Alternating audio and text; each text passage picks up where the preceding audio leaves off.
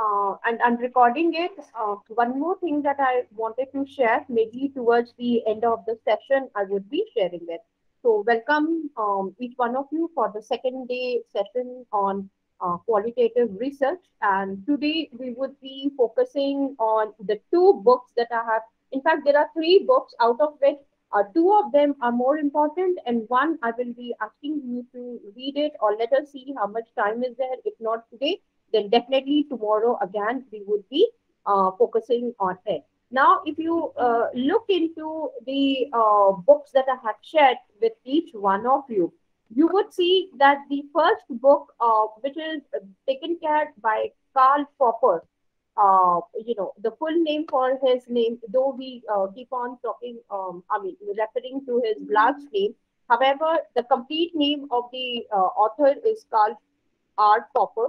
And this particular, these uh, three books, I would say, are the standards across the domains uh, when you are into the field of research. Now, in our country, again, uh, whether you are coming from the field of, uh, let's say, management or law or architecture, all these fields, you will see that, uh, you know, there is nobody who talks about uh, these uh, textbooks or uh, recommend also to go ahead and read some of these uh, uh, lines or the chapters which are available from in this book. Karl Popper um, belonged to that era. Now, after the session today, um, I would be sharing certain Wikipedia pages, especially on authors and some of the terminologies which I would be uh, introducing them tomorrow, not today. So today we are just going to talk about conjectures and refutation.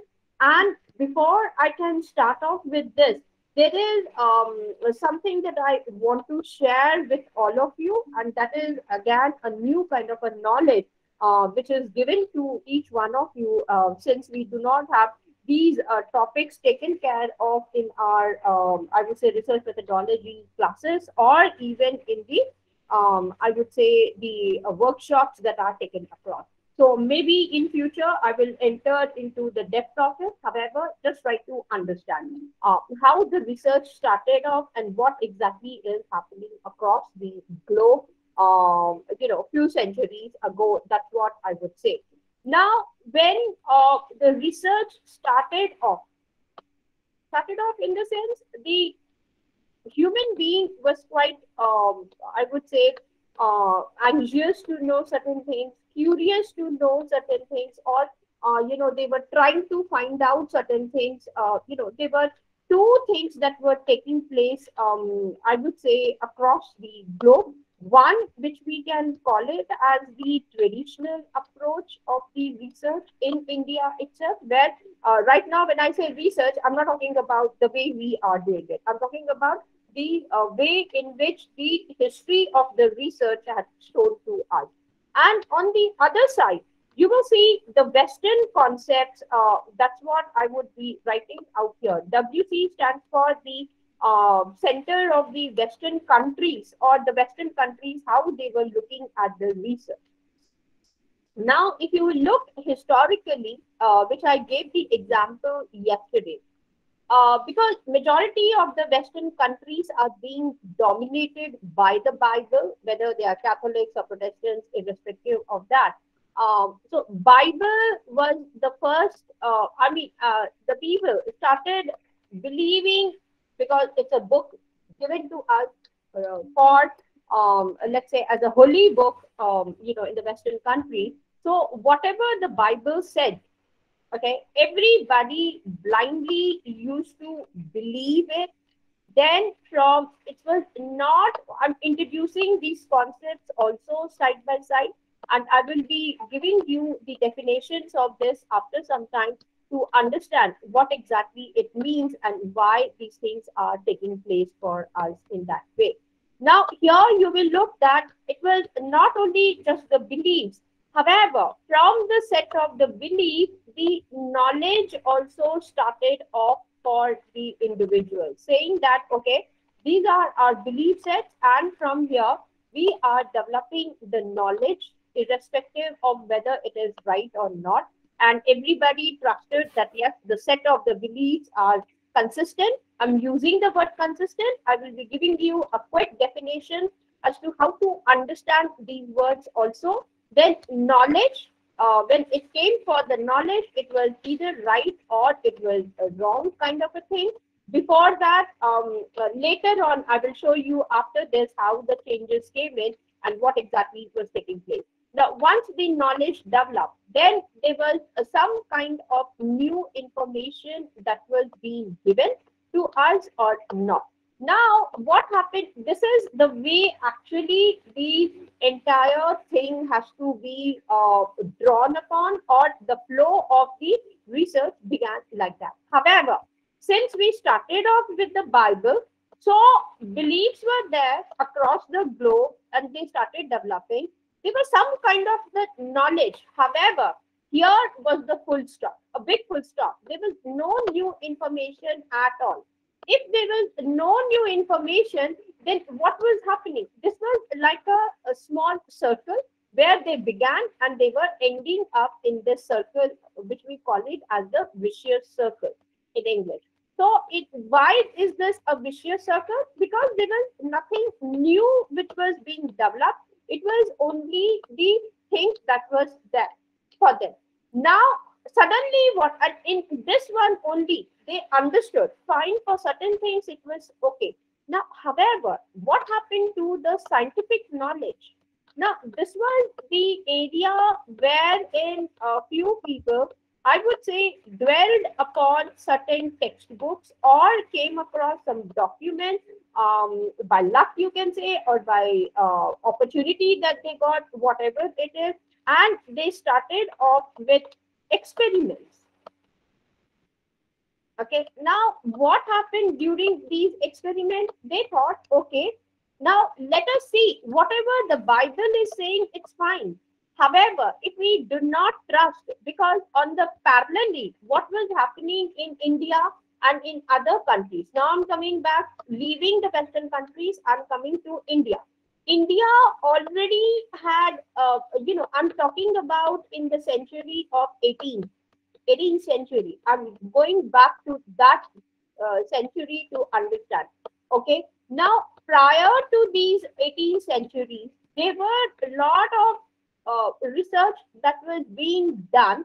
However, the research opportunities that were developing in India or let's say in the eastern countries um, you know, when I'm talking about Eastern countries, I'm also including the Islamic culture also out here, okay, and in other countries. So it is not just India, you have China out here, then Japan is also there. And, uh, you know, if you start looking, okay, Japan, and then came in, uh, you know, Mecca, Medina, those areas, uh, you know, the Gulf countries and UAE, where they are talking about the Islamic schools also. Okay. Now I'm not entering into different different schools of Islam. Uh, I'm not interested as of now. And uh, no, um, I mean, uh, sorry for some of the scholars who are from Jamia or Jamia Hamdard or uh, even from AMU. So, you know, you should not feel bad that yes, I'm not dwelling into this area. This we will focus in maybe in later stages. So here, if I look into India, China, Japan, and uh, let's say Islamic and the Persian. So these are. These Ma'am, sorry to interrupt. Who is this? Felix here. I Yes, think you intend to share the the slides, but you are not sharing. Oh, I'm so sorry. Felix, Yeah. thank you for reminding it. Thank Uh, you. I'm sorry. I'm sorry. Here we go. And uh, here it is. Can you see it now, Felix? All of you are Yes, now it's visible. Okay, It's so let me just quickly recap what I wanted to find out and tell you. Thank you, Felix, for uh, um, highlighting this thing for me. I really appreciate it. Now, you see, so research on one side, and then you have got the Western countries on the other side, and the traditional ones. That means, uh, traditional means I'm not talking about anything new that is being done here as of now. However, what was existing and how the research was being carried out in these traditions. So here, one form of the tradition was that uh, you know, the books were established like Vedas.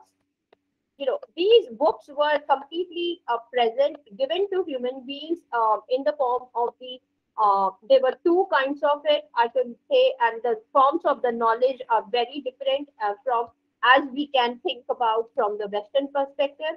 Here, they were a different kind of ways in which these were given to us. Either they were in the written format on the uh, palm leaves or the other kind of stuff that they were using or chanting. Okay, so it was like you know giving away to the domain of human beings without questioning, and they were simply learning and learning and learning was taking place out here. However, a time came when again people started debating the uh, things that were given to them in the form of mantras or the shlokas. So the next development, and that thing I will uh, share it later on, what comes after and how the things were carrying on out here. So you have got the Upanishads on one side, then you have also got what you call it as the Puranas, the I mean, majority of us, we think that these are all the mythological things. However, when we come to the domain of the research, these are not the uh, mythological things. However, they are evidences that yes, they were handed over from one person to the other person. So Puranas were there. And after that, we come across various schools of knowledge that were present for us now, why these schools? Now, uh, on one side, you have got the Vedic schools for that. Okay, so now I'm coming directly to the schools that are available for us. The Vedic schools are available. Then you have got, um, I would say, Charvakas, who are called as the materialistic because uh, in Western uh, concept also, here I will be showcasing to you after some time uh, that yes, we have got the schools of the materialist out here. So when we talk about materialism, then what exactly is happening and what are those schools we will have to understand. Under materialism, you will see uh, Cartesians are one of them. Then we have got idealists uh, who are uh, available and you who uh, discuss about and give importance to the various things that are existing in this world. And we will see how to understand them also. Charvakas, then after that, we had Buddhism, then came in Jainism. Then after that, Nyaya Vaiseshika. Then Sankhya was there. Then Yog Sankhya, that's what we would say. The next school which I had introduced uh, yesterday was Mimamsa. And there were two different kind of Mimamsa schools that were present. And then came in Vedanta and the Advait Vedanta school. And then later on, now we are talking about the contemporary Indian schools of thought also side by side. So you can see that um, how many kinds of uh, schools are available to you. The best part in these schools is that um, uh, you know, one way of understanding coming across the new knowledge, and in fact, I have to make you understand even that also. And uh, that is basically, if you will look um, into the style of it, uh, which Popper also talks about in his uh, book, you will see is that uh, new knowledge, or as we are talking about, there are beliefs. From the beliefs develops the schools of thought, whatever uh, we have got, whether they are Western or Indian or Chinese or Japanese, Islamic, whatever. Now, here in the schools, the ways in which you, you can do the research work is Number one, through falsification, which I introduced the word as such for you. So what happens in falsification is that you go ahead, you study a particular theory. Now I'm generalizing it rather than Popper uses the word conjectures. Conjectures means the words, uh, I mean, the theories, or you can say the models that were given to I'm making it in a very summarized form. Otherwise, there is a typical um, definition that he is giving for the word conjectures. So he talks about in conjectures that yes, you can falsify a particular existing theory. Okay. Now the definition of falsification comes in, uh, you know, which again surprisingly, uh, you see, none of you do in your research work. However, the appropriate way to understand is that you uh, perform or conduct a survey. I'm making it uh, again in a very lucid manner. I'm explaining to you. You give it to your respondents, collect the answers from them, and come back. After that, you have to, whatever the questions you have designed in your questions or the sentences which are there, you have to translate them into statements. Now, you see, when I uh, see the PhD theses uh, which are present out here, I don't see anybody coming and translating these uh, questions or the sentences from English language to the statements that have to be given in a particular format. Now, if you have designed the statement, these statements are classified as true or false. Now, this is the way we need to go ahead and understand and, uh, uh, you know, the word falsification is taking place. Here, this part, question is, you are designing it, you're getting the answers from your respondents is being done. However, this particular step of doing majority of you are uh, not majority, I would say all of you are not translating them into the statements. Once you have translated your sentences and the answers that you have got into appropriate statement, these statements are the one that has to be classified into truth or falsehood. Now, these statements come into existence. Let me make it up into uh, four uh, different, uh, four or five, you can say different kind of uh, understanding. Again, I'm not entering into that zone. One is uh, the statements which are in the form of and. The second is in the form of conditions, which means if this, then this one. So something you write it down and then you get it this is another one. I'll explain to you very quickly. However, assuming that um, uh, this requires some kind of a training again, so I'm not entering into the depth of it.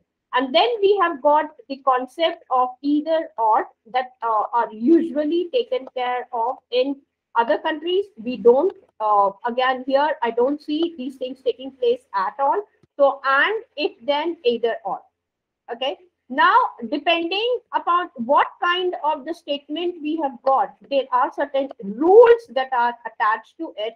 And then we come to the concept of truth and false. For example, if I see a statement wherein and word is coming, we have exactly uh, four things. And means between two variables which are there, there are exactly four ways in which you can assign the truth or the falsehood for it and that goes in the form of true false. I'm just giving you i'm not entering into the intricacies because this sounds very weird for each one of you. Now this will be like another workshop wherein we understand it. However this is just for the sake of the sharing of the knowledge that i'm sharing. So if this is uh, i'm sorry in a very quick manner i have given it away. This will be for the first variable it would be true true false false and for the second variable, it would be assigned as true, false, true, false. And when you are finally coming for your statement, it would be in the form of those two variables which are in the case uh, sense of P and Q. So if both of them are true in the sake of, uh, for the sake of and, answer is true. In the rest of the cases, it is false. So what does this mean? Popper says if you have seen any case uh, in your statement as well as in the earlier works of the individuals who have done that one variable is true and the second variable is coming out to be false, consider them to be false. If you see that yes, both of them are true in uh, in the sense of the variables, and it turns out to be the true for it. In all other cases, it is falsehood that you are taking out. In the same manner, if and then and either are are also there. Now, this is how the concept of falsifications are coming in. We start off like that and then we are taking care. However, uh, I don't see anybody here uh, thinking in this way or performing their research work even using these things. So, you know, I don't know what to say about that particular uh, research. Anyway, we just carry forward in that manner. So, first one is the falsification. Second, he says that let us go ahead and look at our theories. Now, if you agree, it's fine. And if you find it out uh, then that yes, it does not fit in, then you can go ahead, you can criticize it. Now, criticizing something uh, is also a technique that are there. And we um, come up across with certain arguments and there are uh, again the format which has been given to you and uh, that also I can show it to you very quickly. We have got around 19 ways in which arguments can be designed, number one, and you can go ahead and you can uh, criticize something. A simple tool is there for me. For example, you must have read in the papers, they are talking about dilemma, fallacies, now, you know, we do not know. We simply write it down that yes, uh, there is this fallacy. However, you should be able to learn how many, what is a fallacy, number one. Fallacy means, for example, a person has given to you an argument, okay, in the form of one, it can be of three steps, it can be four. So from two steps, let's say he derives the conclusion for you. And this is the aspect of the critical thinking. Now, I'm not introducing the critical thinking in this particular workshop. Therefore, uh, please do not ask me to give away those things also out here. This is the structure of an argument that is taken care. Again, nobody does here. Now, here, when I have the structure, the structure is, let's say, I visit Alka ma'am's house. Okay, Alka ma'am tells me, Ramani ma'am, what do you would you like to? Now she's a perfect hostess for me, and she gives me the options. Okay, Ramani ma'am, tell me you would like to take tea because it is winter, or you would like to go ahead and uh, take a cup of coffee. Now I would say, Alka, I do not take tea. I do not take coffee. So here I can say no tea, and in my uh, if I just uh, take away from here and make up to a step and I tell her no coffee also for me. So what is the argument that you deduce from here? Nothing. We don't know what it is and what it is not basically. Yes or no? So we are just kept quiet out here and we cannot proceed further. Alka ma'am is in a dilemma. Now, what should I do? Ramani ma'am does not consume tea. She is not consuming coffee also. So this is first one scenario wherein she is in a dilemma. Now, what should I do from here? She, this is called as the structure of an argument, which are taught in the cases wherein we say critical thinking. Now, here, these are the ways which have been given to us and uh, the moment you look into it, you are able to format your argument and carry forward. Second case, now I come across and I tell uh, ma'am, okay, here we go in the path. Now I visit Ashutosh sir's place because he stays in Greater Noida where I'm residing. So if I go to his house again, he's a uh, good, a very good host again. So he tells me, okay, Ramani ma'am, I know that you don't take tea, so uh, tea or coffee here. So the third option is I can give you the juice. Now, since these are winters, he knows that she will not take juice. So the left out is what? Soup. Now, in the second case, he knows it that yes, she is not going to take tea. So he will conclude now if she comes over to my place, I know she does not drink tea. She does not take coffee also. So the fourth case that he has in front of him is what? Only juice or the soup. These are the two cases he has uh, got the answer with it. I visit his house uh, and he knows uh, in this case again, she will not take juice. Now this is for the not sign in uh, shortcuts, we write it down. So I'm just making up not juice also. So he will be thinking 100% that yes, she might go ahead and consume only soup. She will be asking. So he will either prepare or he will ask uh, Mrs. God to go ahead and prepare soup.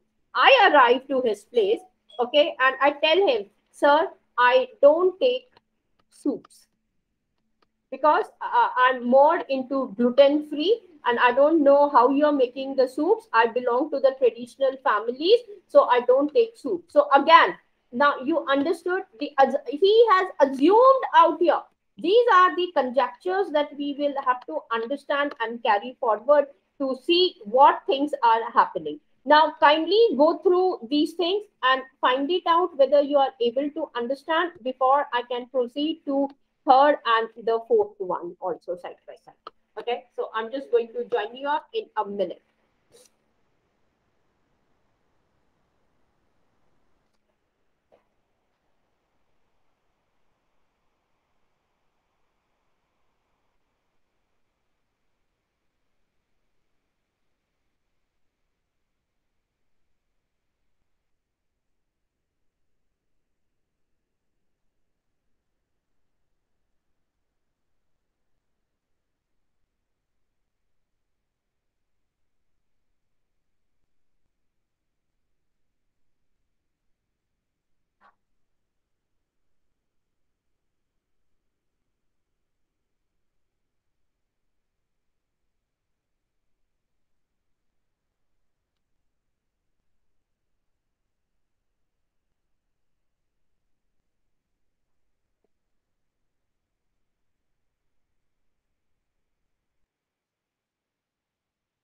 Thank you. So I think um, all of you have got a flavor as to how the assumptions are working and what exactly is happening in these cases now. So these are the ways in which we uh, form the arguments and then carry forward. Now, why did I introduce all these things? Because when you are going to think critically, you know, and this is exactly what Popper uh, is telling us when he is talking about criticizing something. Okay, criticizing something um, as I have showcased to you here in the next slide that yes, it can be in the form of dilemma, number one. Number two, it can be in the form of fallacies. Fallacies in the sense that if an argument has been given to us, okay, now, there are ways in which you can say, oh, this person has uh, really formulated it in a very wrong manner. And we have again the techniques to identify these things also side by side. And there are around, uh, again, I have to say, around 116 forms of fallacies which are there. And you can go ahead, let's say, uh, Sanjay gives me an argument in his uh, thesis and he says that this is what I proved. Therefore, this is what I'm proving. Now, I as a next reader or as a scholar will go ahead and I'll be seeing, oh, this is what he has formulated as an argument. However, from the list of these 116 fallacies, I identify that in his second argument, in the step um, you know, he has given me uh, wrong information. I'm not using the word wrong information. The way he has constructed his argument is wrong out here. Therefore, there is this fallacy. In that manner, I can say that yes, see, what Sanjay has done is not the correct way. This is a fallacy we are talking about. So I have shown you one, I have shown you two, I have shown you three, Fourth, eh, now 116 fallacies are there. That means under three, you have got the scope to identify those 116 ways and you can say, oh, this particular um, part of the theory or the model that they have come across is completely wrong. So this is taken away from me. Next, fourth one is your dilemma that we are talking about. So it would be here. Now, dilemmas I have shown to you. This is one way of talking about that uh, what kind of dilemmas. Again, it totally depends upon us and we have got the, um, again, the format for the dilemmas are there for us. And again, there are around eight varieties of dilemmas that you can uh, really form, form and then present it out in your paper or in your thesis also apart from uh, dilemmas, there are certain things which you call it as paradoxes. Okay, now this also uh, goes ahead and we can form around, um, I would say 65 varieties of them are there. So the paradoxes you are able to identify in somebody's this thing and you will say oh the paradoxes are there. So i have got a chance to go ahead and handle these paradoxes in that particular paper or in that particular thesis and you can carry forward to see how it is right or not then comes uh, your critical appreciation that he is talking about when you are taking care or you can completely go ahead and say that i don't agree with his theory or the model that he has given. I am going to refute it. Now you see these are the words. Now if you start reading the papers uh, which are published in the uh, scopus journals or ugc you will see a i'm talking about very good papers. Now when you start reading them they are using these words also.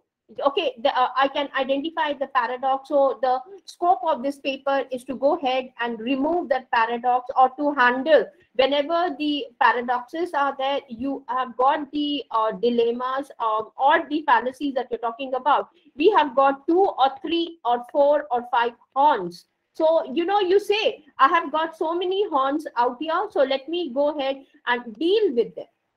Okay, so paradoxes are there. Then you can do the comparisons between uh, two models and uh, you can say that yes these are the faults that i'm finding it out or the comparisons that you want to take care of it basically. So you will see that it's not all arguments. You would be collecting the arguments from all the papers. Now nobody from india i haven't seen any of the scholar or the faculty going ahead and presenting the arguments uh, for and against we say. Whether you are for it uh, like i hope all of you understand what these things are.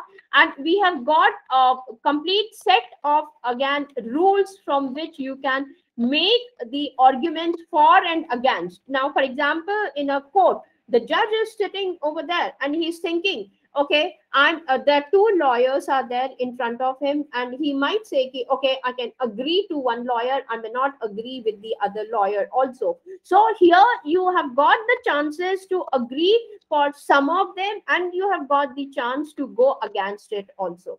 So now can you see that yes and tell me very honestly don't have to tell me keep it to yourself and understand and see are we doing any of these things in our research work or what are we trying to do it? Okay so this is uh, again the whole thing. And this comes only if you are doing your review of literature literature review review of literature. Then i told you systematic literature review and the critical literature review. Now you see when you are fitting yourself into the final part and that's the stage when we are looking for the missing links or the gaps that are present in your uh, i mean that you're collecting from the prior literature or we will see in the observations also side by side. So i have just as i told you yesterday i will not be entering into all of them. Um, just some of them that i'll be taking care of. And here is what uh, popper is telling to you that yes go ahead falsify them completely criticize them. That's what he says. Then he is talking about comparative works you can carry forward.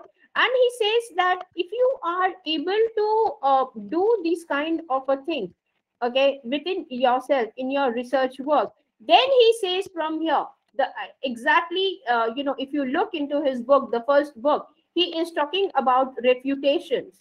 Now refutations itself um, again we don't have so much of time. That's why i have shared the book otherwise what we usually do it is read line by line of that particular those chapters that has been given to us and we say okay now see in the uh, scientific domain because each of our research that we are um, taking care of or conducting that is exactly uh, similar to a scientific knowledge. What happens in the scientific domain? All of us are aware uh, if not, let me explain to you very quickly out here as to what is happening in the uh, scientific area. Now, first of all, you have a theory.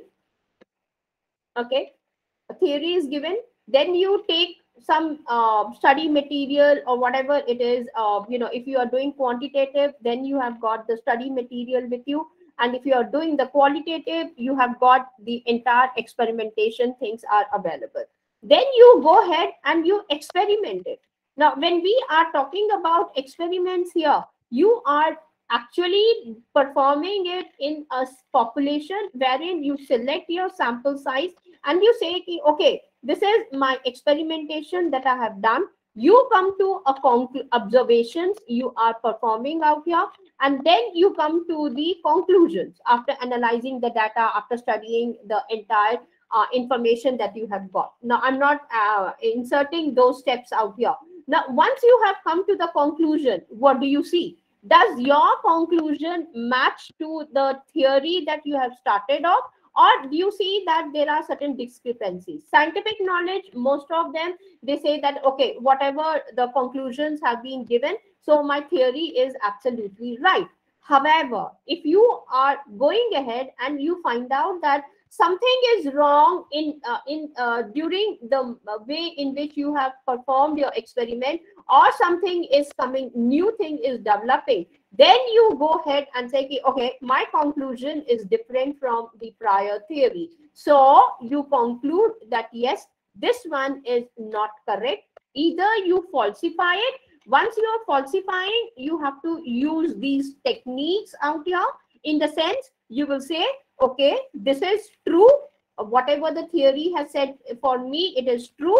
That means my theory was also true. So both of us are on the same page. So you are not giving me any new knowledge out here. However if you find that yes this particular theory was true in those scenarios given those scenarios however in the given scenarios if for example this was uh, the theory was given to you uh, during the non-pandemic time. Now in the pandemic time you find that this is not true. This is coming out to be false for you. So if you have falsified it then you go ahead and you give me a new theory for it. You understood? Now this is exactly what popper is telling us through that methodology that yes see falsification. Now this is again a very rigorous exercises which we do it properly and then we come across with these kind of things that we are discussing. Similarly you start criticizing it. Criticizing i have shown to you in my other slide that yes how you can uh, go ahead and do the criticisms either you identify the paradoxes in the prior literature or the methodologies in the qualitative domain of a person you find the dilemmas. Again i told you that there are eight varieties of dilemmas and you can calculate 65 116 eight i have given you in the same manner refutations i don't know how many methods are there. In fact i can tell you this much that they are more than 200 maybe tomorrow i can identify how many ways are there to refute something and then i will be able to help you out in this manner.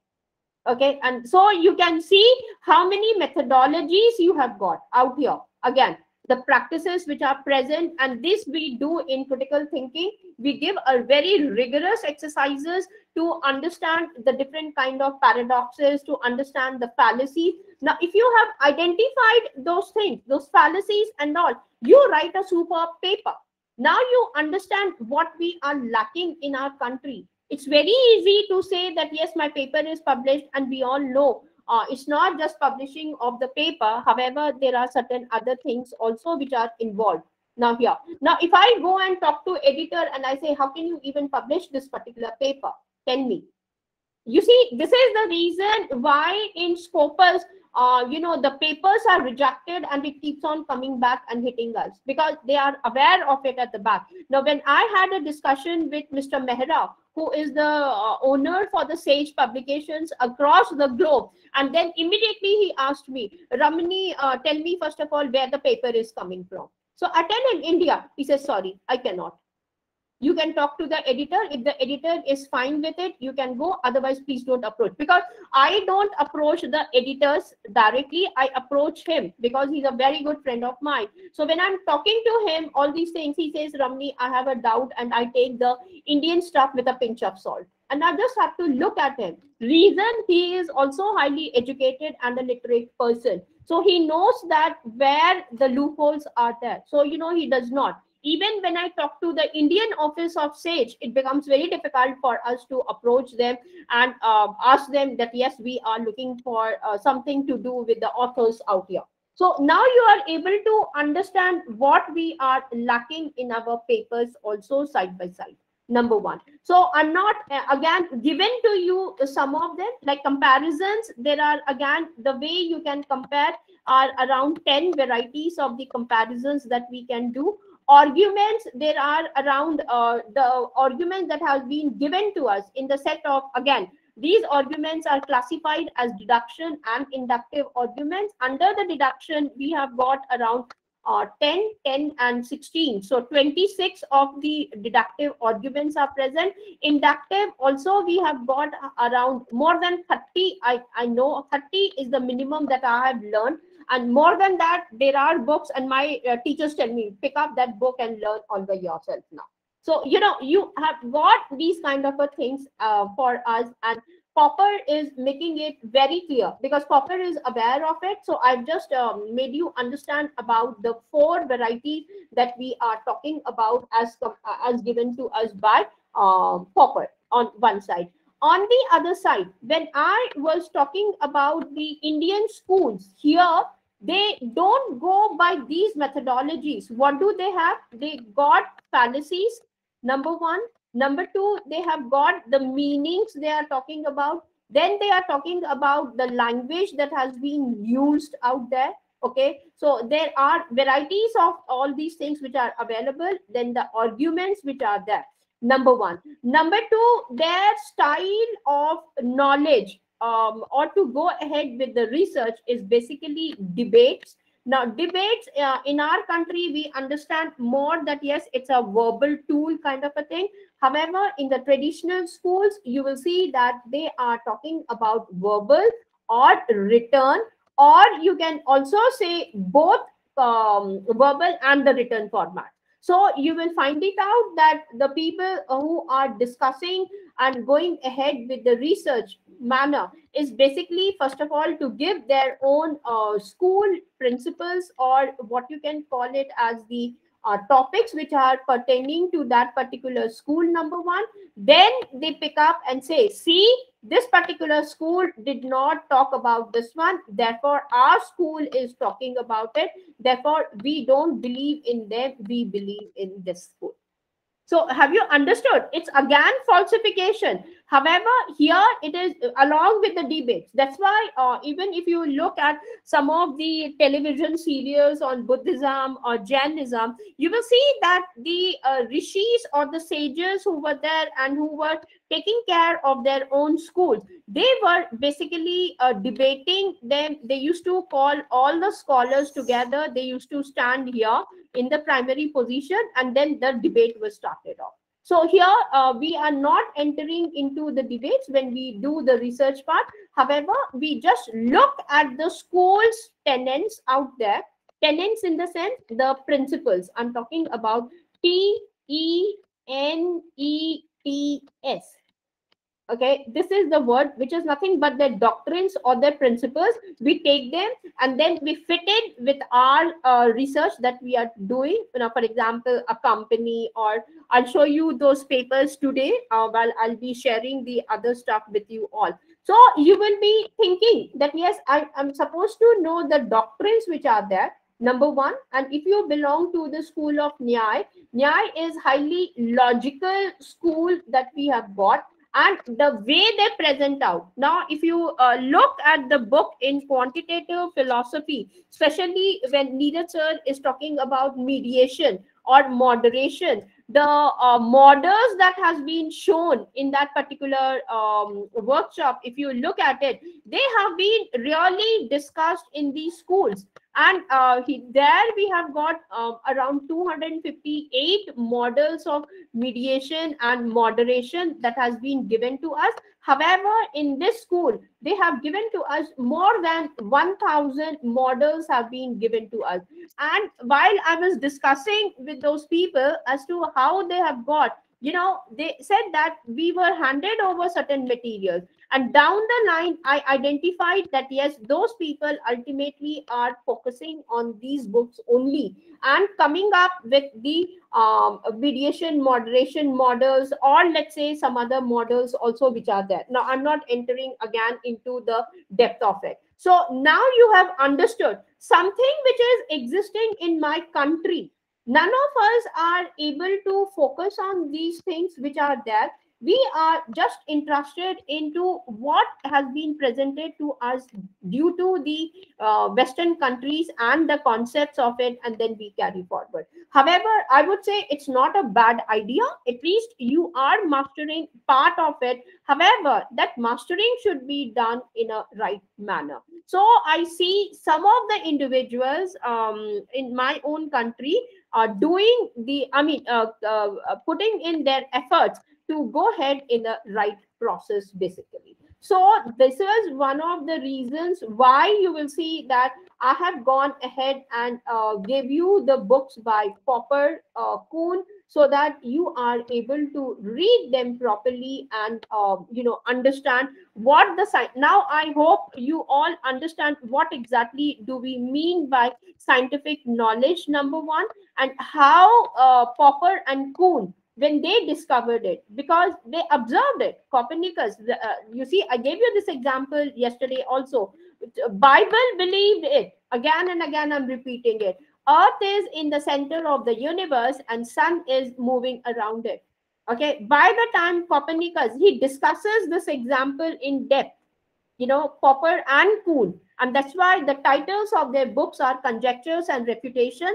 And the other book is the scientific discoveries out there you know. So here he says that the moment copernicus came in he understood that yes this is falsified completely and he came up and he said that it is the sun who, which is in the center of the universe and not earth is revolving around it. Later on uh, addition was done and uh, other scientists or the physicists they said it is not just the earth which is revolving around the sun. There are other planets and the position of these planets were also given to us like venus then comes the earth then you know they went over and then they said these things and now of course all of us do believe that uh, in the past few years initially we had pluto also added out in our um, uh, system of the uh, planets and the sun. Now they have removed pluto and they are not uh, they are mum on this one completely. And we do not know what is the status of it right now. Even i uh, may not be able to help you out in this way completely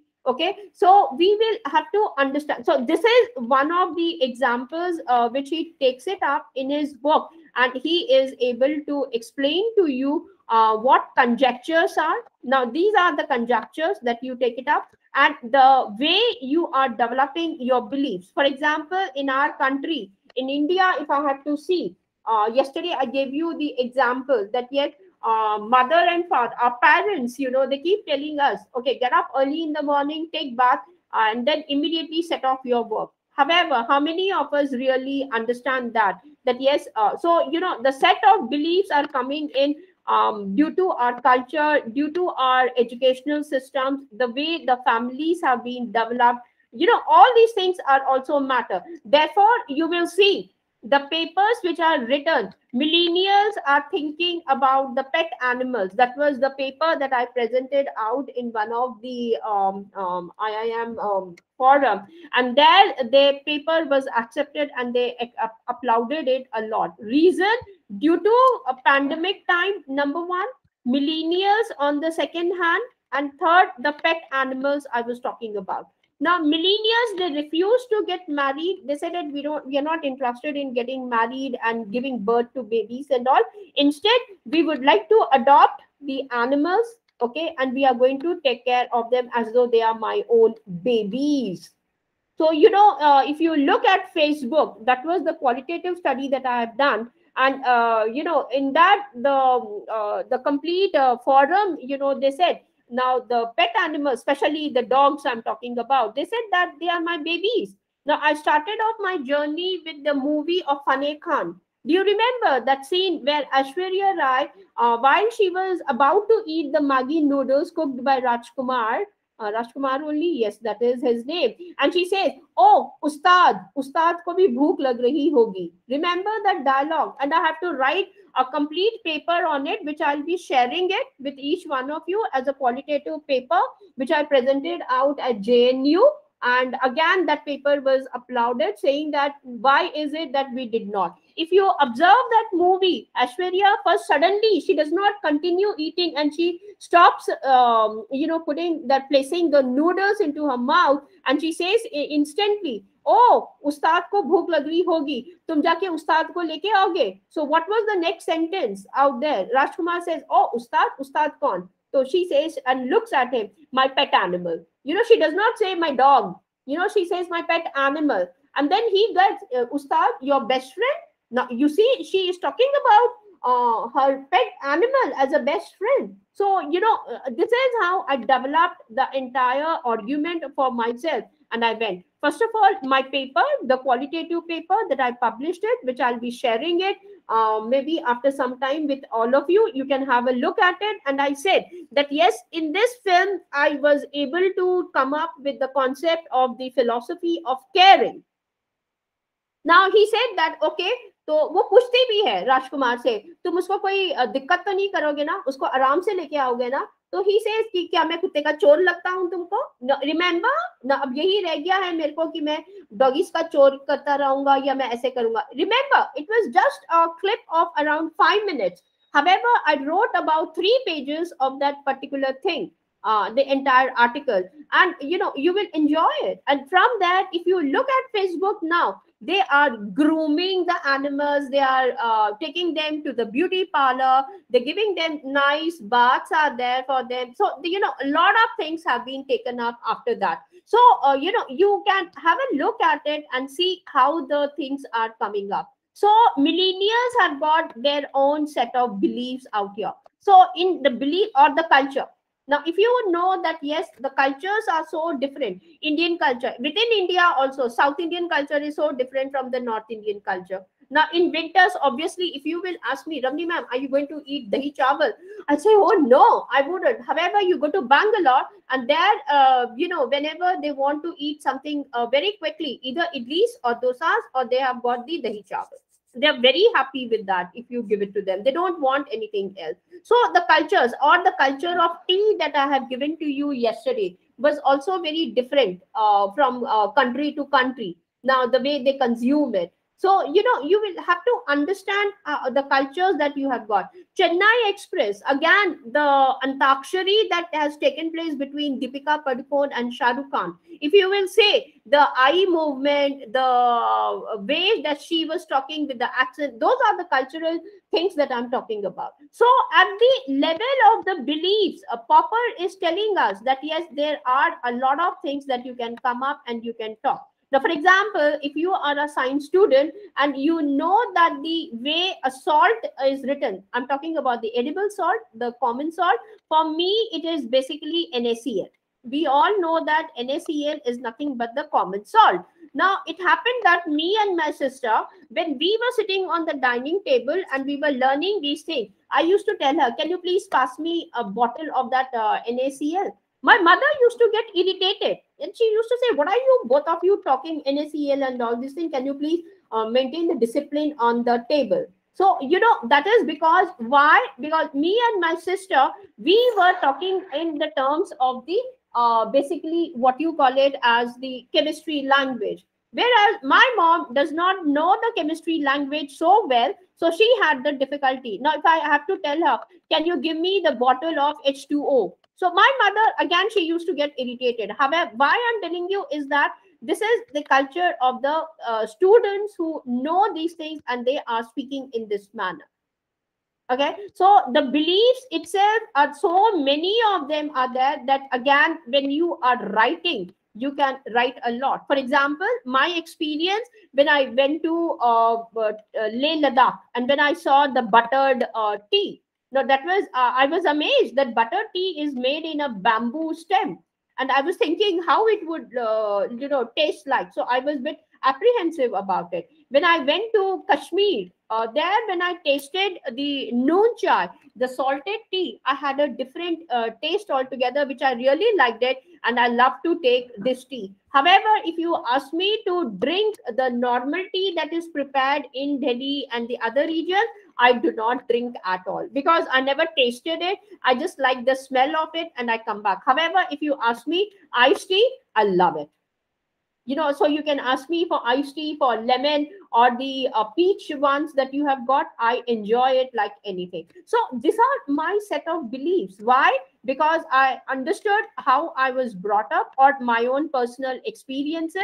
So the culture of mine is very different. So you can understand that you can write your own thing. Like yesterday when i discussed about the partition times. Now i told you one scenario uh, when i was traveling from um, uh, you know delhi to amritsar.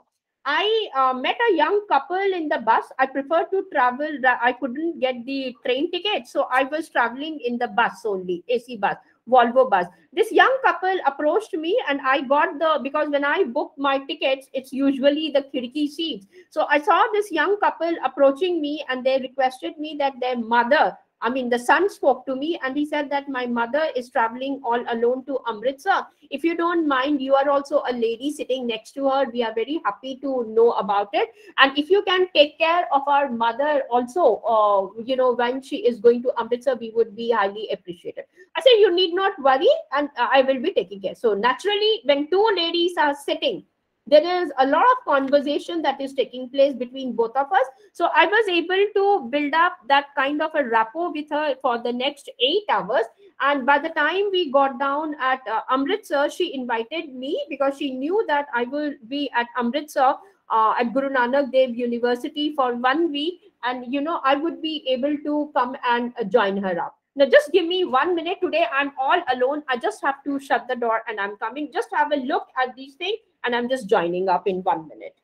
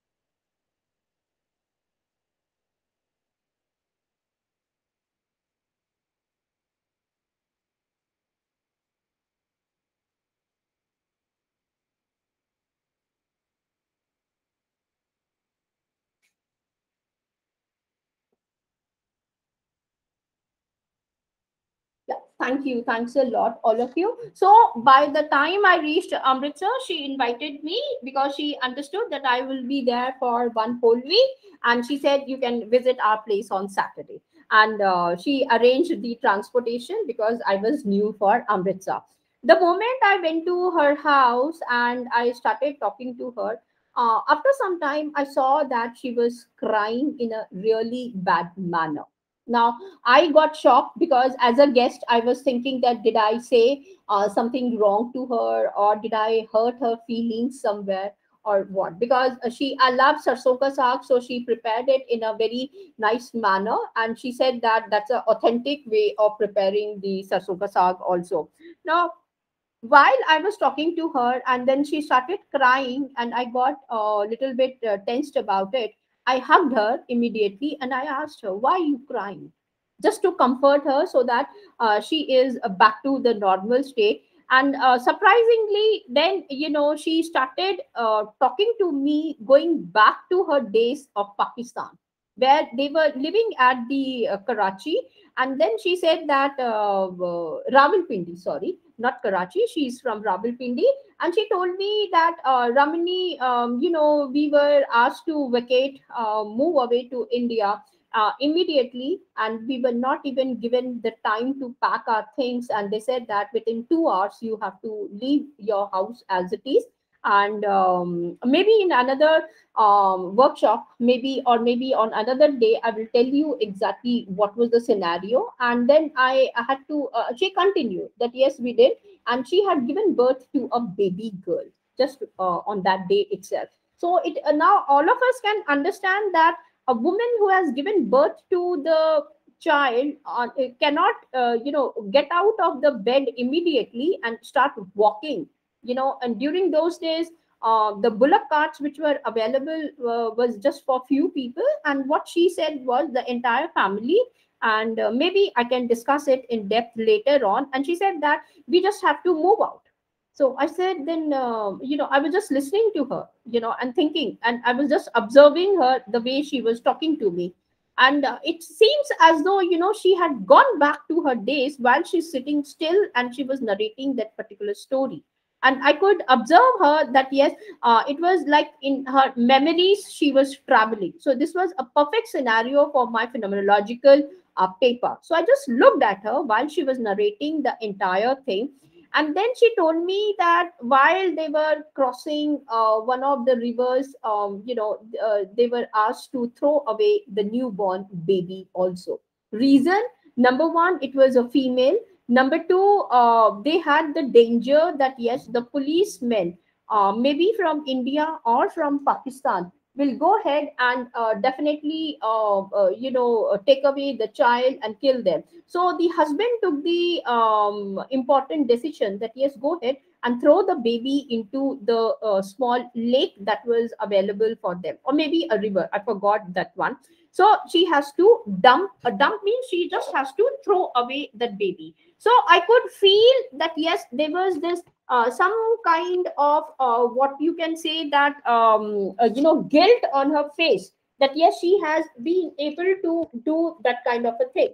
Then i asked her okay now tell me fine you have gone ahead and you have done so after that it was like a question mark for me to understand what exactly was happening then you you won't believe me that she told me that she when she tried to uh, go ahead and dump that particular child the guilt and the way she was crying continuously on her journey towards India.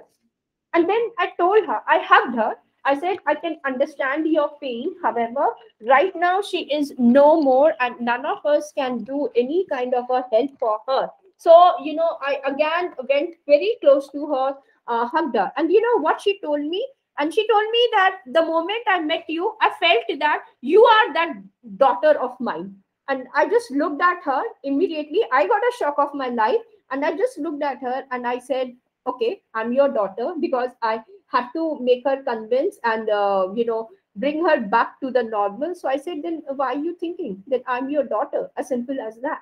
Immediately, she took my hand into her hand and she went to her room. She opened uh, the typical what do you call जिसमें हम खजाना रखते हैं the treasure box of us which was a big trunk and she took out her wedding sari and she gave it to me and she said that promise me that uh, you will come to my house every winter or you will be visiting my place uh, every time so you know why i'm telling you is that the guilt on her face now you see i'm unable to share the guilt that was exhibited. Now in that manner what happened was that while she was sharing that particular story i can see that she is going back to that 1946 end of that uh, july not july i would say or 1947 july ka mahina when she was supposed to leave pakistan board that train or by walking from Rawalpindi to Delhi the moment they came over here or stopping at Amritsar how they had gone back over there. And the kind of a thing that she shared it with me you know i got a shock of my life and i could understand what really was going through in her uh, memories or how the guilt was there. And that's why that guilt has now taken the shape of the uh, emotional state of her crying in the form of the tears. And the moment i told her okay don't worry i am your daughter think that i am that daughter now equated together. Now you see uh, each and everything that i'm talking to you has to be coded out in atlas ti and make uh, three papers out of it which I have not yet published it. Uh, fortunately, maybe uh, later on, I thought I'll be doing it. One as a narrative analysis I have done, one as a phenomenological uh, analysis, the same conversation so why i'm telling you is that when you are at this level and you are uh, coming up with the conversation you can come up with a lot of knowledge things and here comes in your qualitative approach each and every conversation that you have got. If you have passion towards research that's what i would say. And if you are a very good observer that is going to be my next topic of my discussion with um, all of you which i'll be giving it sharing it also after completing it then you will see that writing it becomes very very easy for you. And that's why i said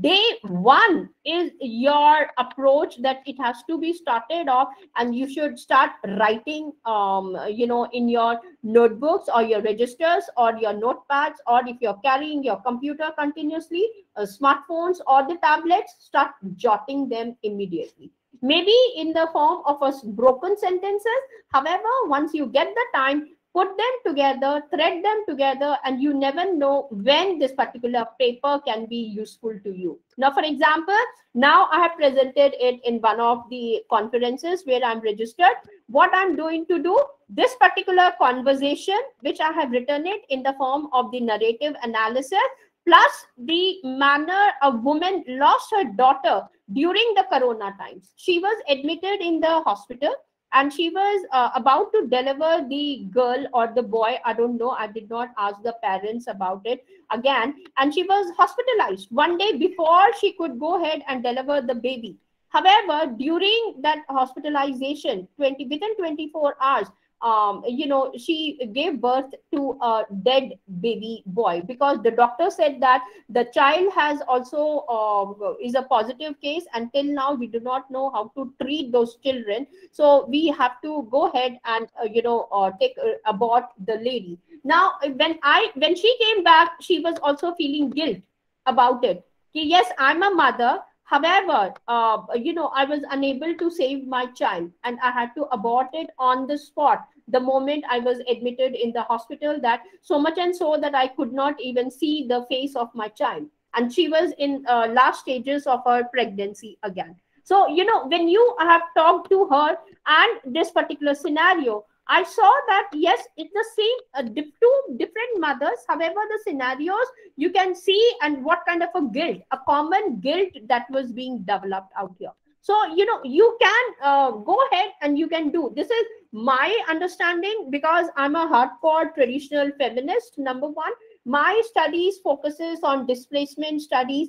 Um, displacement means what happens when you leave uh, your birthplace and you come back to a different place. For example, uh, when I went for the first time to China, I had a tough time uh, over there now in the same manner when i visited japan i had really a tough time because i never knew that yes uh, you know once you bow in front of a person uh, the other person bows to you also.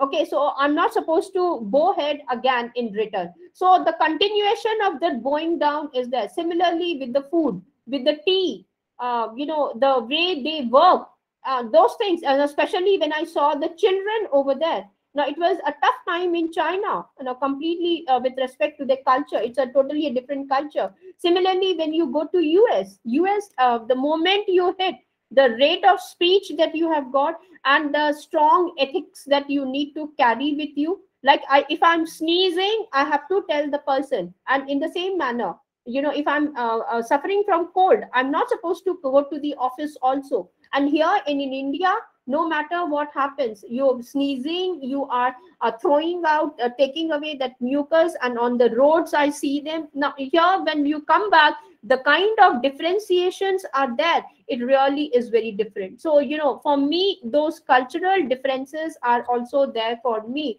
And then i understood how to go ahead with the knowledge and say okay fine i have to survive here. So you know the research in that way is a lot of it that you can think about it and that's why i say writing in research you cannot stop yourself. You can write as much. In fact the time is less with you people basically. So these are the certain ways that we need to understand as to how to carry forward and then carry on. So i hope uh, here um, let me just stop for a while and ask each one of you if you are able to understand uh, what I am delivering out here, number one, and what exactly is going to take place out here. Okay, so here um, I can see some of them out here. Ma'am, somebody said the session is, that's okay, Apurva. Ma'am, you're not visible um, visible in the sense you want me to switch on the camera. I think Felix that we can ignore it because uh, I'm recording also. And if we put on our videos on, especially with the bandwidth, I don't want that. That's why I was taking bit of it. Otherwise I'm here. It's a live person who is uh, giving you and taking the session for each one of you. Uh, please share your share. Okay, I have done that, Kannan sir. Does the belief systems, Bible, etc., can be equated to positivism? Kannan sir, I'll be coming to positivism tomorrow. I'll be discussing uh, over there in positivism, and then we will see uh, what kind of belief systems the positivist take over in order to go ahead. You attended last uh, workshop of mine, and we know that positivism means it will be entering for your uh, giving rise to your quantitative studies. Now, if it is there, then there are different varieties of it. I will be showing it to you tomorrow. What are the different forms of positivism that we have got and how to handle those belief systems also, sir.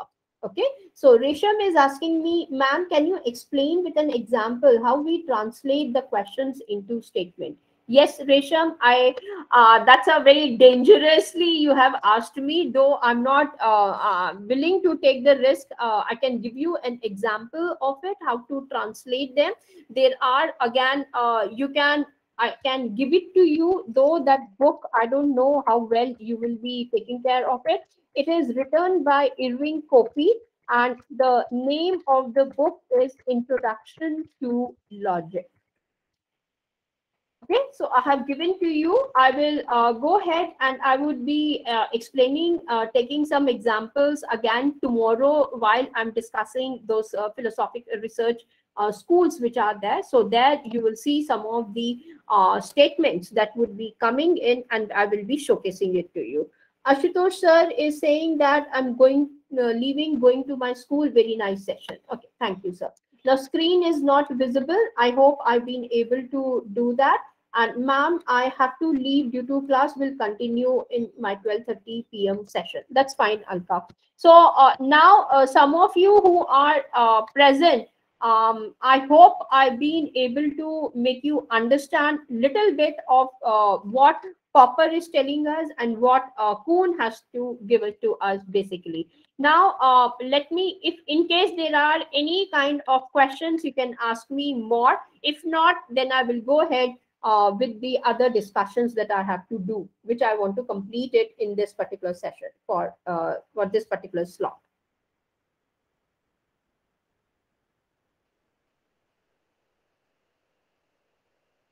No questions? Yes, sir.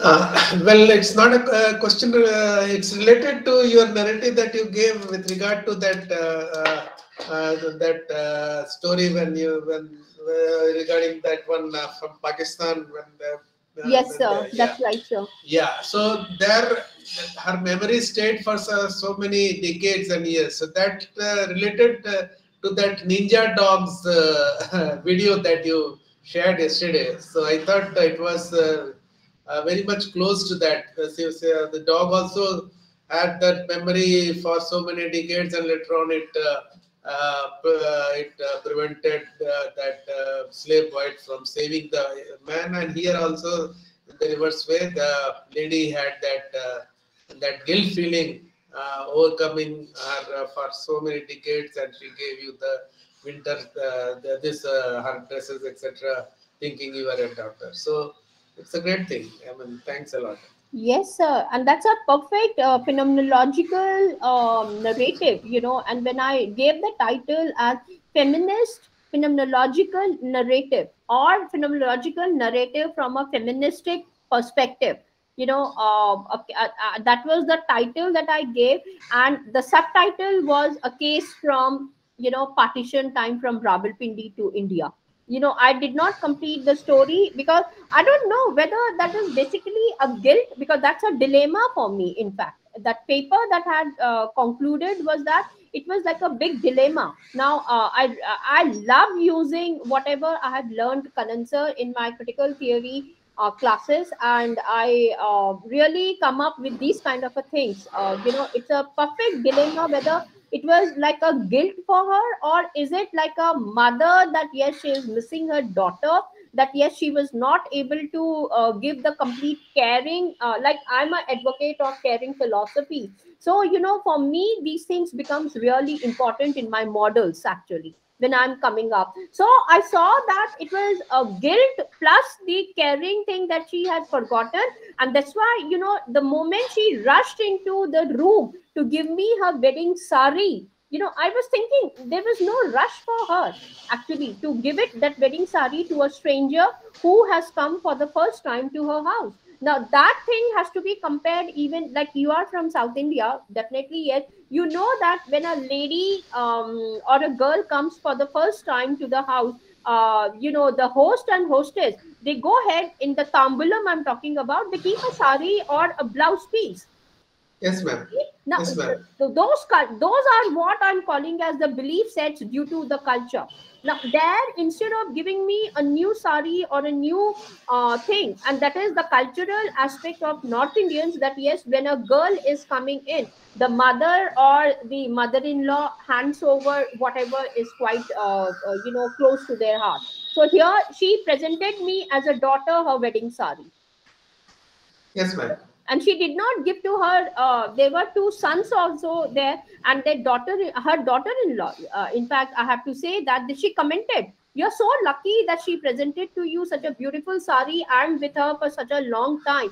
She did not give it to me. So you will understand uh, how the things are fitting in for us from cultural uh, perspective. And if i look at the ethnographic study later on uh, you know you will be understand until date she is in contact with me and like a mother you know she always uh, calls me up every second day and she keeps talking to me also. So uh, sometimes you know i see my mother feeling jealous of it. That yes she ramani does not give me so much of time as she's giving it to this other lady also. So you know you have those uh, things that you can really develop and carry forwards uh. so in that way you know qualitative studies really have helped me uh, to uh, go ahead and understand certain things and also to um, you know put pen them down on my uh, notebooks basically uh, on a daily basis also side by side. Thank you, ma'am. Thank you. Yes, sir. Thank you, sir. Anybody else would like to share? Felix, you are from um, Africa, so I think a lot of cultural differences can be seen from you. Yes or no? Felix, are you there? Yeah. Yes, ma'am. There are so many cultural differences. now especially in baroda i know that baroda is a different uh, altogether the city as compared to delhi and the uh, delhi ncr so uh, you know you have got a lot of scope to uh, write a lot of narratives or the phenomenological stories now especially when we are talking about phenomenology try to understand that it's basically longitudinal studies also side by side so you know uh, like uh, Kannan sir has said a lot of decades are there so you know you can understand and you can find it out right felix and you are here in, in india for how long it has been now I'm getting closer to a year. I came in last February. how many years I'll be here for three years minimum. for three years wow Yeah, so three sure. years is also a good time for your observations basically Sure, and I'll take that into my advantage. Yes now what about tenzin tenzin are you there tenzin I don't know where the Tenzin is. Now there is Francis. Yes, Tenzin, you are from India or outside the country? Yeah, hello. Yes, Tenzin. Yes, I'm from Tibet. Oh, wow. So Yes, you also must be seeing a lot of cultural differences, right? Yeah, actually, I'm born in India. Okay. So actually, I've assimilated with Indian culture. oh, wow. That's wonderful. So where do you stay? In Delhi? Uh, no, in uh, uh, Bailakuppe. It's in uh, Karnataka. Oh, wow. Oh, yes. Mysore, There are a lot Yeah. of uh, people from Tibet Yes. who have migrated to Karnataka, I would say. And Yes. uh, very good work is being. Which university are you from? Uh, Christ University, Bangalore. Oh, so you are right now at Bangalore? Uh, right now I came for holiday in uh, I'm in uh, uh, Bailakuppe, Tibetan Oh. settlement. We have Wow. four major settlement in the south. Okay. So yeah, so I'm from Bailakuppe. Oh, wonderful, Tenzin. I keep Yes. coming to uh, Bangalore and visiting these Buddhist centers because of my research work on Buddhism, also side by side. So let's Mhm. see if I'm lucky enough, I will definitely meet you uh, uh, that place also. Yeah. Let's have a look at it. So even Yes. for you, um, uh, because you are coming from that side, so are you Mhm. trained into Buddhism also side by side? Do you follow Uh, those things? no, no, actually no. No, you are not. No, Okay, fine. no. That's we have uh, we have uh, major monasteries here, Oh, uh, like Nyingma sects. So many th- uh, three, four sects. You know, it's in uh, uh, Karnataka. Okay. So yeah, so but you know, um, uh, there you know all the monks and nuns, you know, they study there. So we are into you know college institution. So Oh, okay. uh, yeah. now yeah. um uh, you know if you interact with the monastery uh, individuals lot of Yeah. things you can learn from them you know Yeah. fact, uh, yes so Yeah, i'm so I'm- inviting yeah yes. so i'm learning from you you know how to get those you know uh, data from them so i hope you know in future i will do some good research qualitative research. Yeah. Yes not only uh, in future in fact you start interacting with them the way Mm, uh, they have the food habits in the Yes. monasteries both uh, Yes. monastery so i'm aware of it especially with the nunneries you know you can Mm. discuss with them and you can do a lot of work from that side also Tenzin. maybe i will uh, contact to you later and i'll explain to you and you are Yeah. supposed to take care of it francis francis thank, Thank you you. Yeah. thanks a Yeah. lot for that interaction francis are you there francis Okay, no idea about Francis now. So I was thinking to take up some of the uh, things from uh, them also uh, and know uh, exactly how to go ahead and to discuss with them. Anyways, so uh, you know these are certain things that uh, you know are very much into it, and you can look and study in depth. A lot of these things are available for us. Now, uh, let me uh, take you all to the textbooks where we uh, can look into it. This is the one, Conjectures and the Refutations is the first book. The growth of the, uh, here he has talked about is basically the growth of directly, he's talking about scientific knowledge that I was discussing with you all on my paint slides, if you have seen.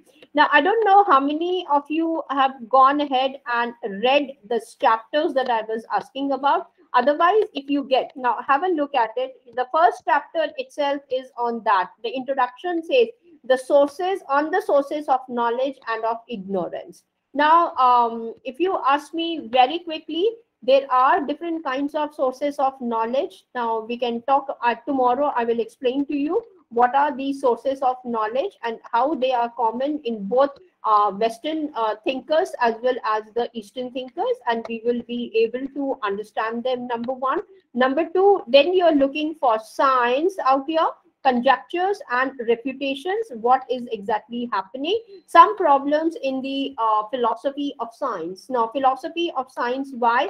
Because there are various things that they have discussed over there and we will see what are those problems which we face on day by day basis and how the things are being carried out in across the different domains also now here the three views of uh, concerning human knowledge now here comes in he's giving you um, if you read out very well and how to understand these things also now the science of galileo and its new betrayal what Galileo has said and what are the new betrayal. Betrayal means uh, how the science of Galileo was uh, refuted or I would say falsified and a new concept was given. So he is discussing about that in next three pages. So the first one he talks about the way to go ahead with the knowledge is that ultimate explanation of the essences. We will see this one tomorrow while I'm discussing some other topics, or let's see if I'm able to do it right away. The second view is theories as instruments. Now, you see, here is the uh, thing that has been pinpointed to us so that you understand why the theories form so important in your research work.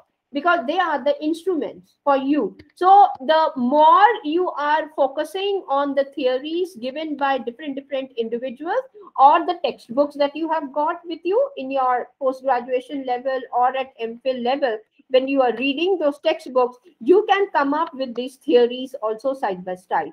Then the criticism of the instrumentalist view now, I haven't explained to you, this is exactly a new kind of thought wave that has started off when uh, Popper was writing his book. And he says that you are supposed to go ahead and, uh, you know, place um, work according to this particular view. This is something that I'm going to read out line by line.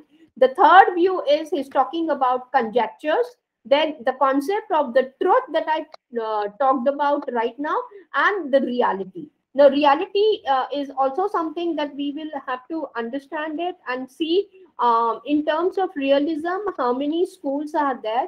And when you are talking about reality again there are a lot of differences which come in. So we will go ahead and we will understand uh, what these are and how to understand uh, each and every part of it. I have given you uh, introduced the notion of truth to all of you now, looking at conjectures, conjectures are nothing but the uh, set of the beliefs or the um, uh, after the beliefs, you can say the way we are developing our knowledge systems, and then we go ahead about it. And then we need to understand and find it out whether is that the reality I'm talking about, or is it something else? For example, that I was talking about the cup of tea. Now, the cup of tea is very good out here fine. The way the tea is prepared in india and the way the japanese look at it there are two different versions people the more you boil tea the best tea it is. Whereas if they see the way we have prepared they say that what you are consuming is actually uh, poisoned tea. Now tell me uh, which would be my reality? Now the tea that has been consumed in india for uh, so many people. You go and uh, look at a dhaba wala or you look at the chai ka nukkar wala, the way he is brewing again and again, wo khub ubalta rehta hai, ubalta rehta hai. Now, the moment Japanese look at the way the tea is being prepared in India, they get a uh, heart attack and then they say they're shocked completely and they say how can you even drink that tea? The tea is basically nothing but a poisoned cup that you're consuming. And they uh, will dare they would even look at that tea. It's a danger sign for them. Now when i looked at the way they prepare the tea what do they do? They boil the water. This boiled water is added into a teapot and then that small cup is taken up where the tea leaves are being uh, in the teapot after adding the water, the boiled water, they add the tea leaves, wait only for two minutes, not more than that, or maybe a minute, and then they consume it in those small, small cups, and that's it. As simple as that. हम लोग तो उबालते भी हैं चाय को और फिर उसका बाद खत्म हो जाता है उसी चाय में और दूध डाल के फिर उसको और उबालते हैं so you know the kettle if you look comes up with a lot of time when you are now what happened i'll tell you one more scenario of mine. I have uh, like i'm very fond of cooking so that's one of my hobbies. And after cooking uh, you know uh, some of the one of my best friends she stays in us and she said that i want you to post the videos that you're cooking because i learned the kashmiri cooking also. And she said you're going to post the videos for me because she's a horrible cook and she said that I will be remembering you. Number one. Number two, I will look at your videos and I will start uh, preparing accordingly. Now, what happened is that uh, rather than uh, placing them on YouTube, because when I was preparing those videos and I saw YouTube takes a lot of time, so I thought uh, I'm teaching her, so why not uh, put it into the wiki pages? So, you know, uh, Wikipedia, uh, it's not just the Wikipedia, they have a lot of platforms and one of the platform is WikiHow. Jack, again, who is a good friend of mine and who takes care of the Wikipedia, wiki pages and all, he said that it's very good. And uh, not only in English, you're going to now put them into multiple languages, like in Hindi, Telugu, whatever I'm cooking, I'm supposed to do that. So WikiHow pages, the moment I posted uh, how to prepare the Kashmiri tea, the pink tea, the salted tea, I saw that some of the Americans coming and sharing and saying that, oh, uh, don't uh, uh, boil the tea so many times, you are ruining the tea. Then I was thinking, then how would the Kashmiris drink? Because in Kashmiri's uh, tea preparation, they add even the baking soda. A pinch of it, they add it so that they can get that pink color actually into the tea. So I was thinking if I don't add the pink color because baking soda every day if you keep consuming and in Kashmir if you go there this particular tea is like we drink the tea or coffee uh, in the other regions of the country. Like I see minimum number of uh, tea that I see people consuming in a day is not less than 10 small small cups भी होते हैं, आजकल तो glasses आ गए हैं दो paper glasses so I see them drinking at least ten time चलो यार, चाय की ब्रेक है। After every one hour they want to consume it so ten times fifteen times twenty times sometimes the people who addicted it's more than that also sometimes now, if i look at kashmiris and if they are drinking this tea with the baking soda okay now i saw that uh, there is this relationship that came across that number of tea that they're drinking and the way the kidneys are spoiled in their body. So you know in the later stages the kidneys are spoiled because too much of baking soda and that also on a daily basis and that also so frequently is uh, has an effect on the kidney. So that was one of the medicinal paper that i had to develop with one more doctor basically. So you will see that yes the cultures that we are talking about. Now that is the uh, how well it is matching with the reality. Now that is what i wanted to show that yes uh, preparation of the tea number one. Number two consumption of that baking soda tea the pink color tea because even the guests are coming they want to uh, prepare this particular pink tea and they are giving it. And then uh, the way the kidneys are being affected also. So how the reality is being matched is what i have to look into it.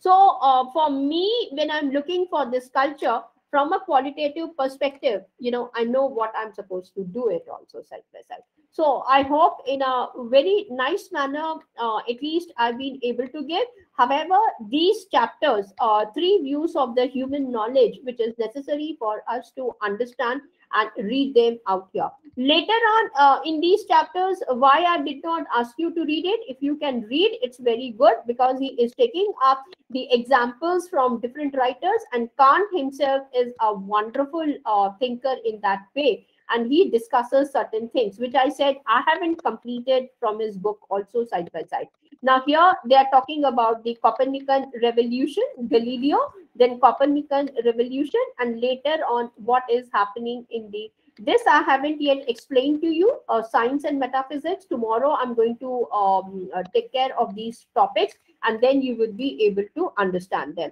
Now comes here the logic. Have you understood? That's the reason why i gave away that book because when i am taking up a class uh, or let's say uh, the sessions on critical thinking it is there we introduce this particular book and we carry forward into um, our understanding of certain things. However, uh, if you can go through it, it's well and good. Otherwise, just wait for some time. Then maybe later on, uh, after this workshop, maybe two, three concepts more, and I would be coming up with the next workshop also. So here, uh, they are talking about this so that he talks about the truth the falsehood and all these things that is coming up basically. And then he is discussing about the growth of knowledge in terms of the theories and the problems for us which are present. Now facts i'm not going to uh, make you understand right now. However this is where i am more interested in for each one of you so that's why I said I want each one of you to read them as soon as possible so that you are able to understand them. Next comes the refutations. Now here somebody was asking me talking about uh, can you please explain with the help of the positivism. So once I'll be discussing about it, Carnap's theory is also there. Then Comte is there. Then there are other people you will see who are talking about the positivism. And there we will be talking about all these things which have come up. And we say that, yes, now I'm trying to do the refutations out here. And you will see uh, how to understand that also more and more then uh, tomorrow or let's see if i'm able to give you at least a glimpse of the picture about what i'm going to do tomorrow. And then you will understand what is the role of the language that is being played um, in our uh, thesis and the uh, uh, entire research that is there for us. And then once we have completed we will be uh, he talks about the growth of the other uh, research areas in terms of hegelian dialectic or he's talking about the rest of the people who are coming up with their own research areas like uh, hermeneutics structuralism modernism all those things. So uh, for me more than all these things i am more interested into these chapters which are there. And uh, tomorrow after introducing certain things i will be able to discuss these things also side by side. The second book which is very uh, important to us is the logic of the scientific discovery now you see you will have to see the chronology of popper's works now i'm not going to give away all the works that he has done however these two books turn out to be very important uh, when i come to the research areas uh, fully. So here he is discussing about them and he is uh, talking uh, as to how we can go ahead. And if you look at his uh, content out here again, just give me a moment. Let me come to that page where the content is there.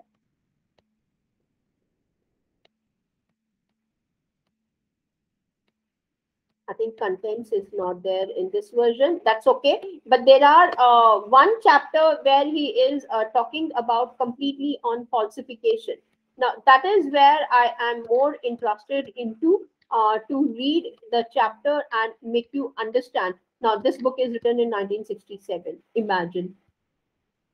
Um, so it's such a traditional book that we have got. Yes, I don't have the uh, content of this book. Let me see if there is other book where I can get the content. And here, can you see he is talking about the problem of induction. Now, these are the ones that we are doing it. Now, I, one of the person asked me, uh, can you give us the example of the logical statements? These are the ones. All swans are white. Now, every statement, uh, sentence that you have developed in your questionnaire, if it has to be converted into the statement, they will be coming in the form of A, E, I, O, U. Now, what does this mean? Either it will be taking up in the form of all swans are white, that is in the form of universals. Now, I'll be explaining to you about that also. Uh, I thought um, today I'll just be focusing on these three books to understand and then talk about those things. However, I think the time has come for me just to uh, give you a glimpse of what we are talking about. Now, you see, when you are in the domain of scientific knowledge, remember that there are two things, uh, five things that will be necessary for you.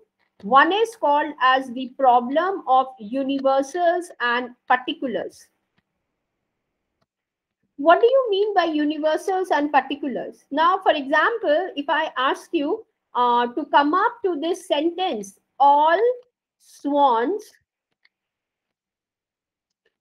are white now if i have to go for this particular sentence now the question arises have we seen all the swans in this world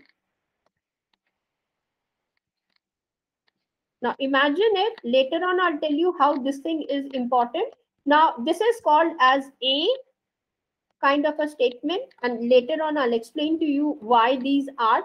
All swans are white in color. Now, the, how many swans did I say? I don't know. Or I can say another form of the statement of this particular variety uh, for the variables will be no swans are white. Okay. And then I get another variety of the statement as some swans are white. And the last one is some swans are not white. Now, depending upon your uh, research areas, the statements are to be converted into this format. This is E, this is I, and this is O. Now here you will see when I talk about all, it means that I have exhausted all kind of swans present in this world and I declared it that yes, all of them are white. This is the universal fact. Or if I say no swans are white in color, in a way, I'm talking about again, I've exhausted about all the swans and I'm talking about uh, again the universals which are there. Particulars will be no matter, even if I've seen one swan in zoo, I would say some swans are white in color you see the induction is coming in uh, when you talk about deduction and induction which is your next problem induction and deduction. This is one more thing. Then you have got what you call it as the uh, noumena and phenomena or sense experiences. This is for the sense experiences. And the second one is for the conceptual level that you are at. So here is that would be called as phenomena. Next one that we are talking about is the differences between subjective and objective, which I'll be dealing with it and I'll be making you understand how the biasnesses are coming in and how to deal with them or is it possible to deal or it is not possible to deal also. So this is your objective part that we are talking about. And uh, so these are the four parts that you have got mota mota. And then I'll be telling you if in case I want to introduce some more part also. So, uh, you know, uh, these are the ones that we will have to uh, understand it and carry forward. The third one is language intact intact and then we will see how to understand them also. Okay so uh, these uh, topics i'll be discussing it tomorrow for uh, all of us and uh, that's where he is talking about if you can look up problem of induction then known by experiences. When i'm talking about the experiences this is where the realm of experiences would be coming in now whose experiences should i talk about?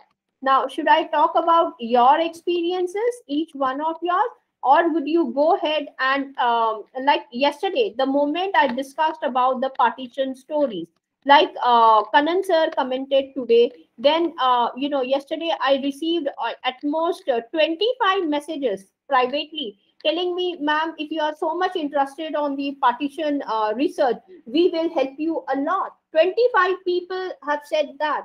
Now, uh, can you imagine that? So I just narrated my own experiences, which was backed by another 25 people.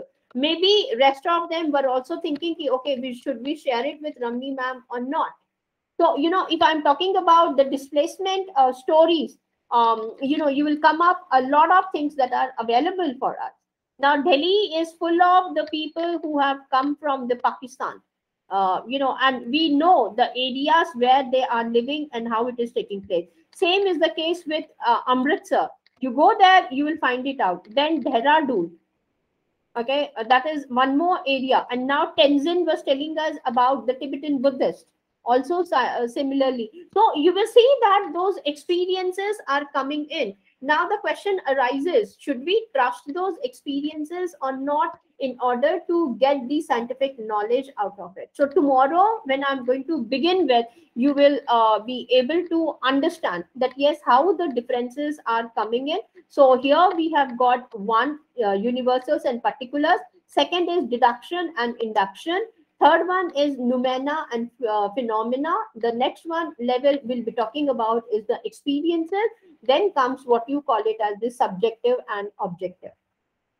Okay? Now here he is talking about those things only right now. And then later on uh you know now you see he is not talking about all these things. Now see logical truths. Now it's not just like that. You know you require a little bit uh, kind of more training into these ones also so that we know what he is talking about and oh yes now he has given us the hint. The other one is, uh, which I have to talk about, uh, is a priori and posteriori. Now, you must have heard about these words when you are doing the quantitative research work, a priori uh, arguments and a posteriori also. So this is also something that I will be discussing a lot and lot so that you are able to know them. I won't take much time into that, uh, maybe at 15 to 20 minutes for each one of them and then we can carry forward. So remember that these are also the ones that are there for us uh, in terms of the research basically. And later on, you will find it out that yes, he is talking about reliability, probability, validity, all these things. Now, can you see how the research which we are talking about we just take it away very lightly without knowing that yes these intricacies are also available and we are supposed to go ahead and understand them also side by side so here comes in the entire thing that he is talking about and later on um, you know he discusses about the uh, problem of demarcation in terms of the subjective and objective which i'll be doing it and later on uh, unfortunately, I don't have the um, what do you call the um, content list. Otherwise, I could have shown to you. So here comes from the sense experiences. He's talking about the concepts, which I'll be show, uh, showing it again tomorrow, not today. Then we have got the statements, which are necessary for us to understand so that we come to the judgments or the propositions or what you call it as the statements out here and then move ahead to positivism or to the interpretivism. Now, this is the way, now you understood why this grounding had to be done so that I can make you understand. Tomorrow, without saying, I just uh, start off with my uh, what is logical uh, positivism and give you the importance of interpretivism you will and if someday you come across these kind of terminologies you will say ramani ma'am you did not tell us properly. So here they are talking about the universal statements about the reality and then in the moment you are writing the chapter on justification and explanation you are going to say and talk about all these things also most of the time we say that yes uh, the population is this thing this is my sample size so i'm happy with it. However you don't say whether this sample size the uh, research that you have done is it really matching the reality or not? Now to map this reality fine you're doing the quantitative part of it and you might even go for the qualitative work also out here the quality work However, uh, have you got the complete knowledge of the initial research topics that we are looking over? So what you are doing is basically this much in the entire continuum. And this is, again, I would say not the right method. If you have come and you have collected the data, find out whether the collection of the data also is being done in a proper manner or not for us. And then you go ahead and conclude your chapters that are there for you and say see now coming from this explanation i would say that yes my contribution to the research work is quite close to the uh, empirical research and now you will understand why they are the word empirical research or action research pragmatic research comes into the picture because you are showcasing that yes my research is quite uh, close to the reality and what is happening in the given society for yourself so here these are the ways in which you are supposed to know and uh, go ahead and here comes the falsibility now here is uh, here discussing it um, tomorrow when I'll be talking about, I'll be giving to you experiences, consciousness, awareness. These are the ones that you're supposed to know it also side by side. And then what is he talking about the falsibility? Now, can you look conclusively decidable? Then he's talking about verify them to falsify them. You see, till the time you haven't done the critical thinking courses, understanding these things becomes very very vague. And you know because we are trained into it uh, completely so you know i'm able to understand. For example in quantitative Why is it that when you are taking care of the smart PLS, the bootstrapping for 5,000 times of your data is being taken care of? Because they want to go as close as possible to the reality. Now, you see, the team is aware of it in Germany and they are able to identify it. And then they say, you see, the data that you have collected it, we have uh, through with the help of the bootstrapping uh, done for 5000 times we have increased just to showcase that yes my mediation my moderation or whatever i'm trying to prove out here is quite close to the uh, reality that i'm looking for so you know this though you're doing it However, what the what about the prior part of it? Are you doing it in a very nice manner? No. So what you're requiring and what you are stating in your thesis or the paper is only uh, I don't know half knowledge or one fourth knowledge of what knowledge it is. I'm not aware of it. However, if you look at Elsevier papers or the Scopus papers, how they are writing, they write not less than 10 papers, uh, 10 pages of the research paper. Or sometimes i see that 25 initially when i used to look at the number of pages uh, sometimes 45 also. I used to get a shock of my life. A paper of 45 pages however now i understand because they are giving you the complete flow of the things that are required by you to do it in the research part and that's why uh, publishing in scopus papers becomes very difficult because how you are going to do the um, uh, writing the paper using these kind of jargons and everything is also necessary. So tomorrow um, not right now i'm going to end up till here expecting that yes some of you will be uh, reading all these things and coming back tomorrow to me so that it becomes much more easier or if you don't want to read right now just wait till tomorrow. I'll be giving you more of it. Or maybe day after tomorrow i will just see if i'm able to read at least these chapters very quickly for you so that you are able to understand at least and once you complete with this workshop you know what exactly is happening in the domain of research and why these things are required so that you enter into the realm of qualitative studies or the uh, quantitative studies of it. So tomorrow I would be taking through again uh, the fundamentals of it, which I have said, uh, these ones which I'll be doing it tomorrow and making you understand one, two, three, four, five, six of them are there. In fact, there is one more, seventh, we will see um, the difference between mind and brain. That is also biggest problem. So we will uh, go through with this. So these are the seven things and these uh, slides would be kept like that only. I'm not going to change them at all. And uh, tomorrow when I come back, I would be starting off uh, with these uh, uh, topic with this particular topic and i would complete with this and then carry forward with the other topic that i wanted to take care of okay? So i think um, i'm going to stop till here only. My next class will session will start off at 12:30 so maybe we can go ahead and we can know more about it also yes apurva these things are necessary. I know these are very vague terms and uh, many people are not able to uh, even capture the iota of it. Now these kind of a topics you know we really completed in six months time.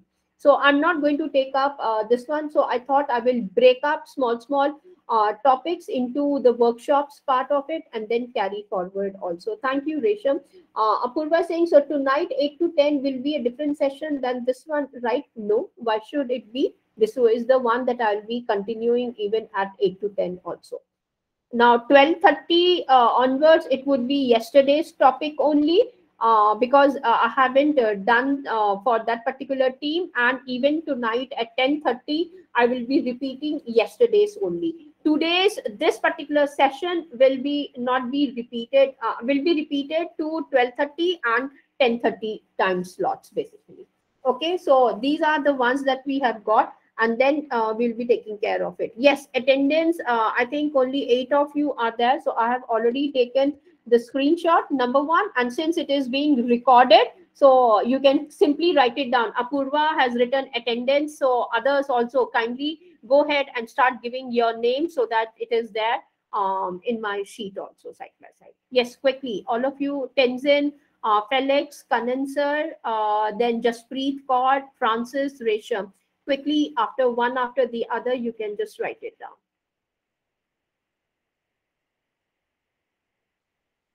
Yes, sir. Thank you, sir. Thanks a lot. So 12.30 would be the repetition of yesterday's class only. Okay, and 8 o'clock, I would be repeating the same thing over there. Again, from 8 to 10 o'clock, the same session that I took up right now with all of you. Okay, so I think all of you have given me your this thing, so I can go ahead and stop recording right now. and if some of you are looking forward to join me up for yesterday